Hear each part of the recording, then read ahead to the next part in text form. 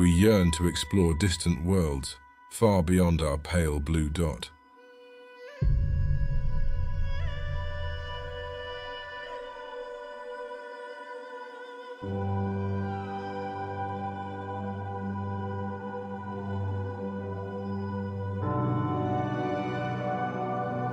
Like the great discoverers of old, we travel into lands yet to be known and write stories yet to be told.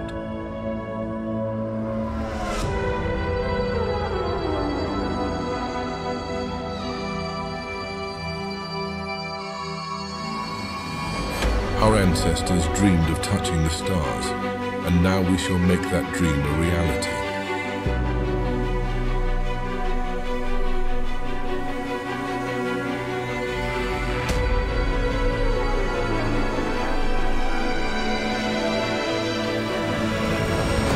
We shall stand upon distant worlds and witness a new sunrise.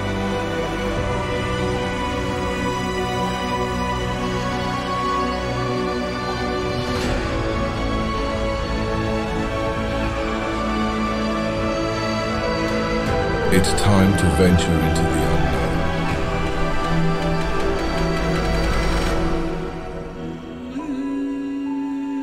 Explorator by Augusta Stella Foundries.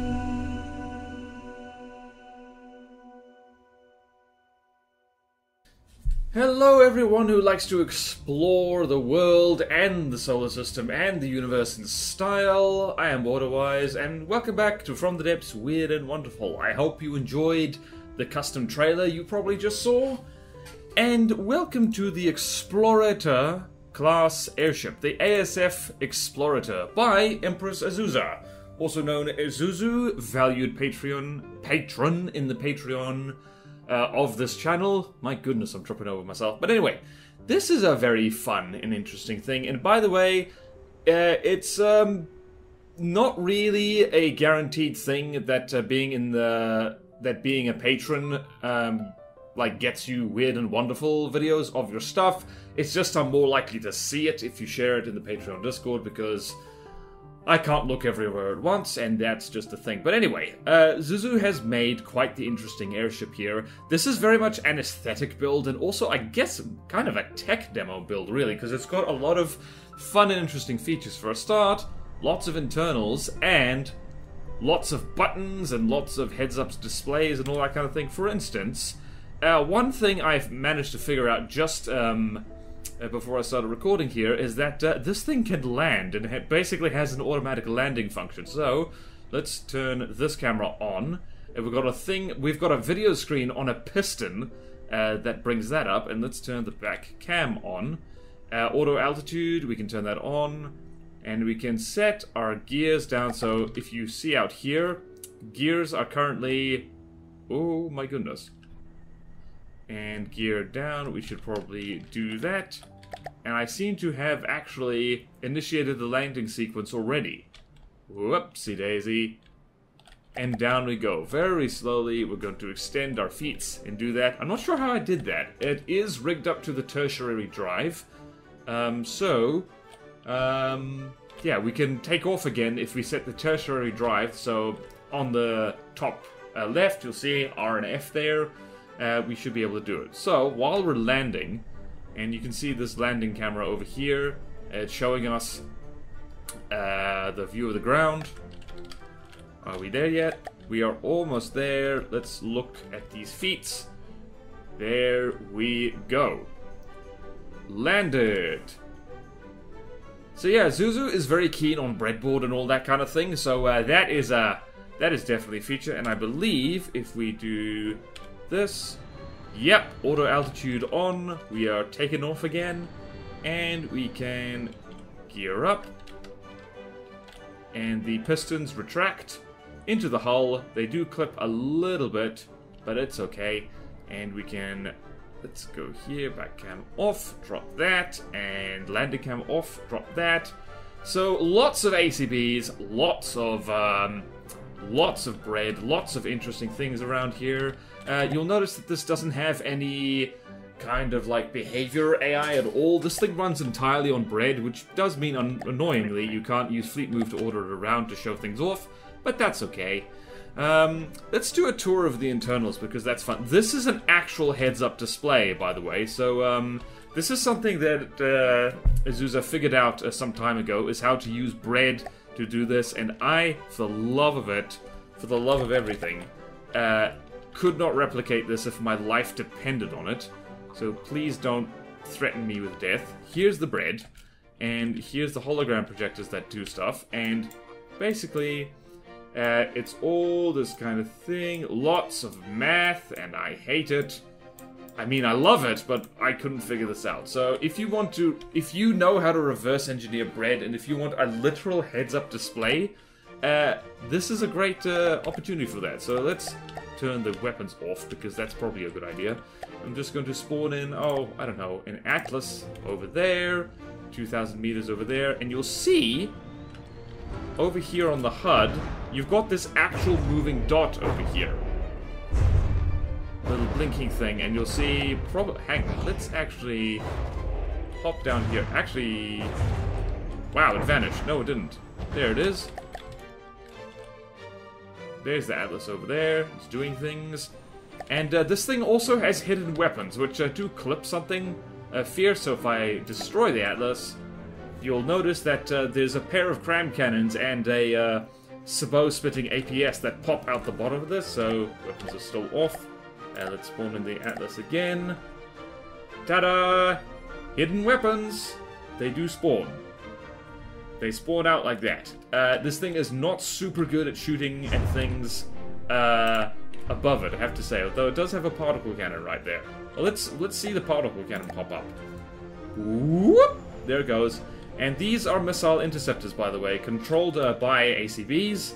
Uh, let's actually turn the weapons. Oh my goodness. You are flying super low. It also has a whole bunch of remote-guided missiles, I should say. So, uh, yep, here they go. Very nicely decoed, remote-guided missiles. I need to steal the deco off this. Holy bananas. Woo, baby. Is that AI dead already? Nope, it isn't. Kablooey.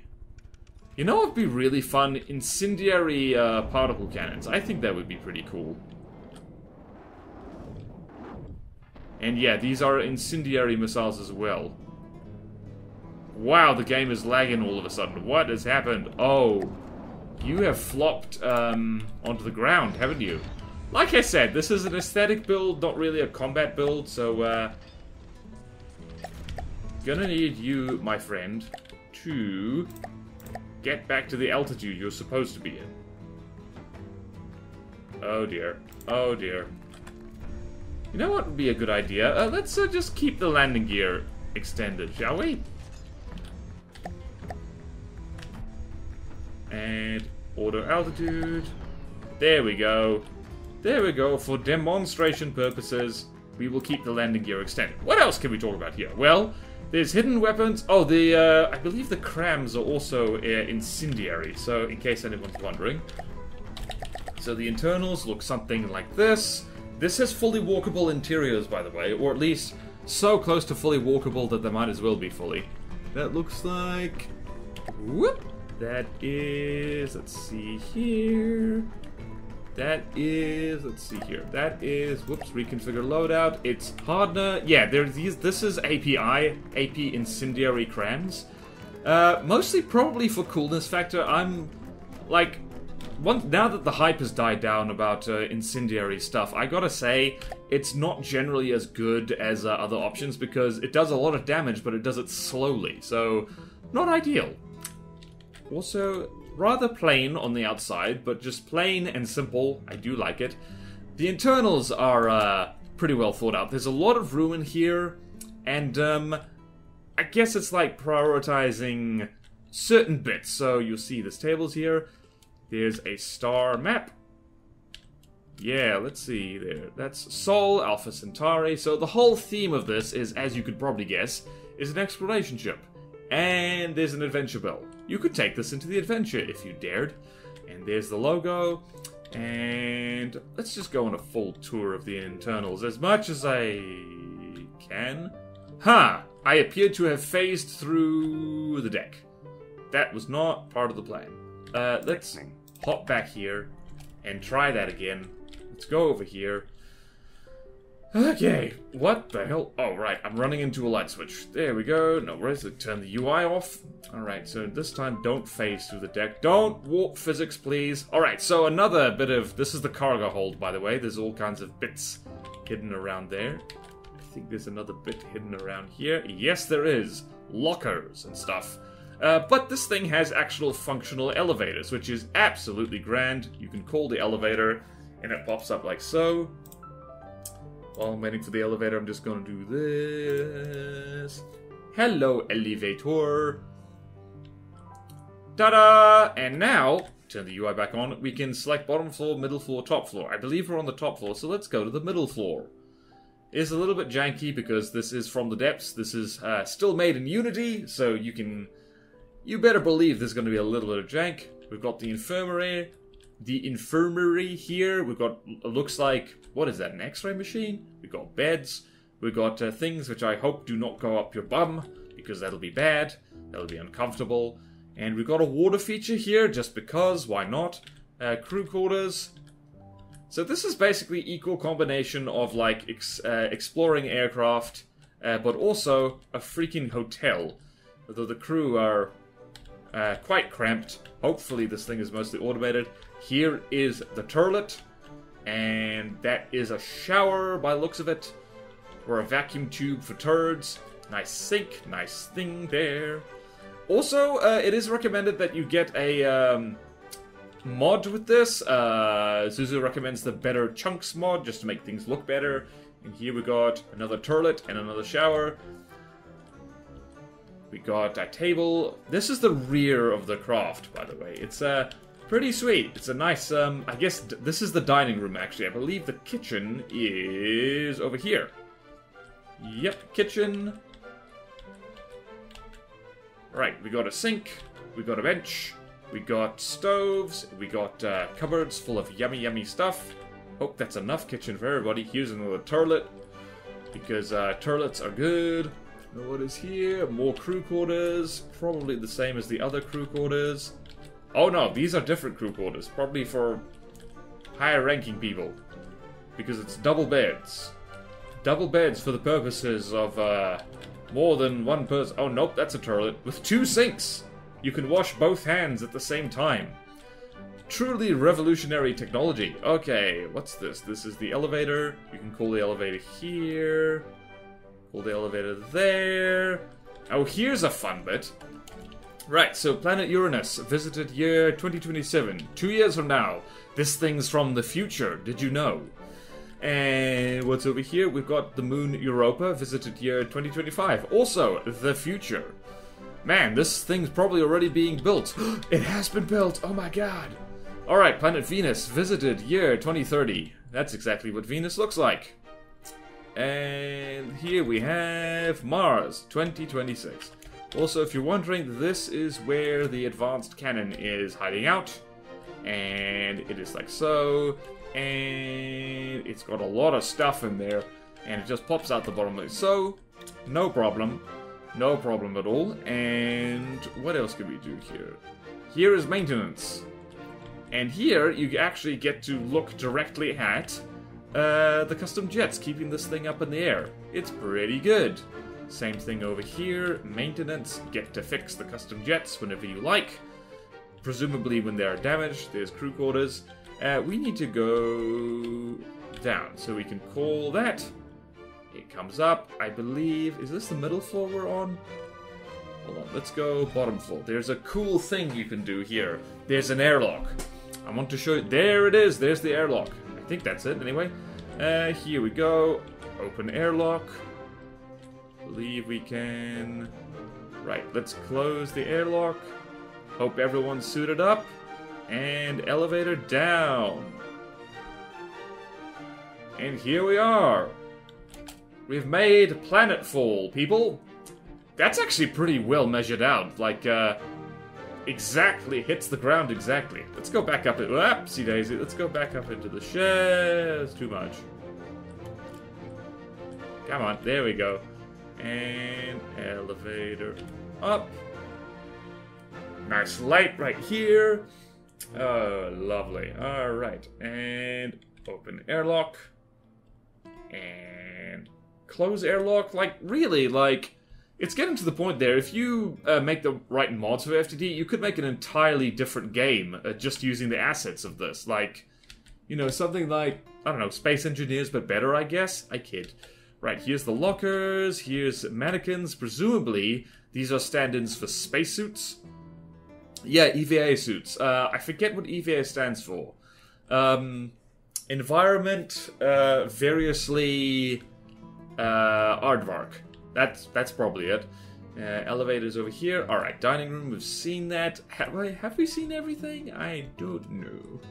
I think there's. Is there more upstairs? We've been upstairs. Guest suite. We haven't seen this. Check it out. Guests. Not only are we exploring planets, we are funding the expeditions with rich people. Oh, that is a fat king size bed. I like it. Neat, neat, neat, neat, neat. Lovely, lovely. I would travel on this thing. If I wasn't scared of space, I would, uh, I would do here. Once again, two sinks. You can wash both hands, or possibly one hand and one foot at the same time. That's how it works. Do not disagree with me. And that's presumably standing in for a suit. Suit, suit, suit, suit, suit.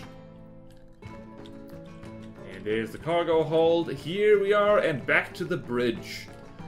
I believe that's everything. If uh, it isn't, then, well, I'm gonna be very embarrassed.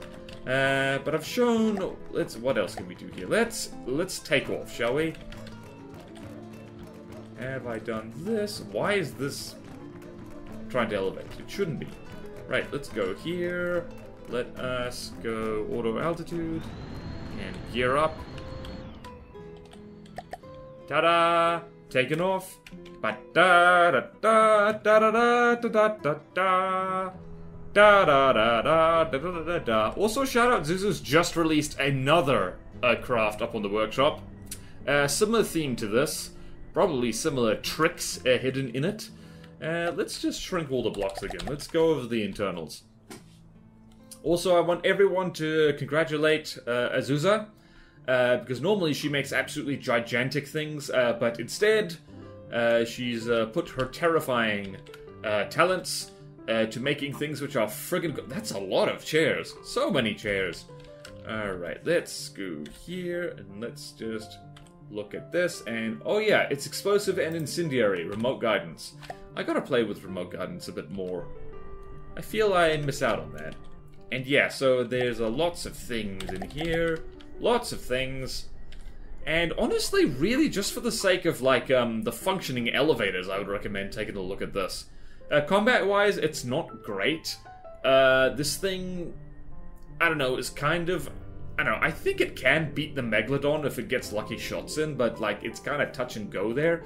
Uh, but yeah, it's uh, lots of clever stuff. It's like it's the kind of thing that you build that you build for fun, and once you build it, it's a, I guess, an artwork more than an engineering piece. Even though there is actually a hell of a lot of engineering in it. Oh, this is this is Tetris.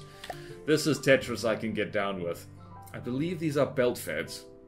Are they belt feds? I think, yep, they are belt feds. They are belt feds. This thing has a rate of fire like, uh, like wow. So now I'm actually going to extend the landing gear just to be safe because we don't want to smash ourselves on the ground. And I'm going to spawn in over there in that direction. I'm going to spawn in a crossbones. Why not? And we'll see this thing pirouette around. Captain! Target on the horizon! And there's that absolute river of Sabot just, uh... Whee! And Kasploosh. And Incendiary. As you do. And looking over here, we are turning around. There's even a little visual representation of the ship. It's pretty good. So yeah, that's the Explorator. The... what was the letters? The ASF Explorator. I like this thing. It's full of like neat tricks. So uh, thank you, Empress Azusa, for sharing this on the workshop. Lots of fun things in here. Are we going to belly flop onto the ground? I hope not. That would be bad. Ooh boy. Ooh boy. Yes, breadboard has saved it. And thank you all so much for watching. Uh, please like, comment, and subscribe if you want to see more videos like this. Support me on Patreon or YouTube membership if you like. It really helps, and there's fun perks in it for you. Thank you to all my current supporters, and I will see you next time in From the Depths, Weird and Wonderful. Farewell.